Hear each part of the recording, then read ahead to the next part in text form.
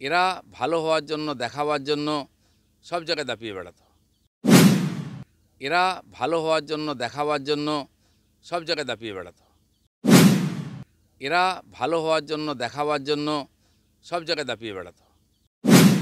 শুক্রবার ম্যারাথন জিজ্ঞাসাবাদের পর নিয়োগ দুর্নীতি কাণ্ডে যুক্ত থাকার অভিযোগে ইডির হাতে গ্রেপ্তার হন বলাগড়ে তৃণমূল নেতা তথা হুগলি জেলা পরিষদের জনস্বাস্থ্য কারিগরি কর্মাধ্যক্ষ শান্তনু বন্দ্যোপাধ্যায়।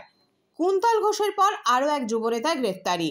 এই সুযোগ হাতছাড়া করলেন না বিজেপি সাংসদ দিলীপ ঘোষ। ফের একবার কাঠগড়ায় দাঁড় করালেন শাসক দলকে। কি বললেন দিলীপ ঘোষ? শুনে নেব। যারা আমি দেখেছি টিএমসিতে বেশি দাপিয়ে বেড়াতো, নতুন নেতা হয়েছে না। সব এইখান থেকেই টাকা আর এর জোরেই হতো। তারাই সব নাম আসছে এবং আসবে। আপনাদের চোখের সামনে যারা দাপিয়ে বেড়াতো এবং সবাই এর সঙ্গে যুক্ত আছে, বিরাট লম্বা লিস্ট আসবে। আর আমি মজার ব্যাপার, যেই লোকগুলো আমাদের বিরুদ্ধে লড়েছে, আমার বিরুদ্ধে কেস করেছে, তারাই সব ধরা পড়ছে। এরা ভালো হওয়ার জন্য, দেখাবার জন্য সব জায়গায় দাপিয়ে বেড়াতো। এবং আমাদের চোখের সামনে ঘুরে বেড়াচ্ছে, আশেপাশে এরকম বহু লোক আছে, যারা এই কাজের সঙ্গে যুক্ত। আর সবে শুরু হয়েছে আরও নাম আসবে ওরাই বলবে। যে পিসির ভাইজির চাকরিটা চলে গেল? বিশিষ ভাইজি নয় আপনি দেখুন এরা টাকাও নিয়েছে চাকরিও নিয়েছে।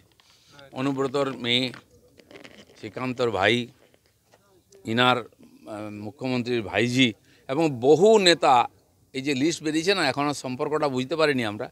দেখবেন তাদেরই পরিবারের লোক চাকরি পেয়েছে। আমাদের কাছে খবর এসছে আরও কিছু লোকের যারা আশেপাশের। তো এরক- এরকম আসবে ওরা।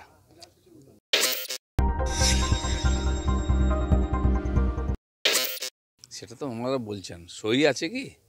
আমি দেখলাম কালকে একটা খাতা দেখানো হচ্ছিল কোনো চ্যানেলে সেখানে সকাল এগারোটায়, দুপুর বারোটায়, তিনটে, পাঁচটায় নাকি সই নেওয়া হয়েছে। এটা সারা বছর কেন হয় না? তাহলে লোক তো পরিষেবা থেকে বঞ্চিত হতে না।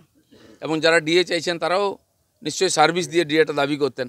এটা শুরু হোক অফিসে এই কালচারটা আনা হোক, যে সকাল এবং বিকাল দুবার তো কমপক্ষে সই করার ব্যবস্থা হোক।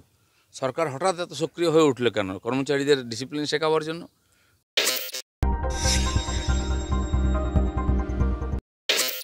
যেটা কর্মচারীরা বলেছিলেন, এর আগে পেন ডাউন করেও দেখিয়েছেন ওরা।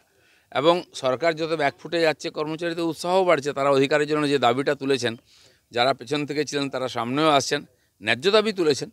আর স্বাভাবিক আছে, আমার মনে হয় সরকারের উপায় নেই এখন, চারিদিক দিয়ে সংকটে পড়েছে।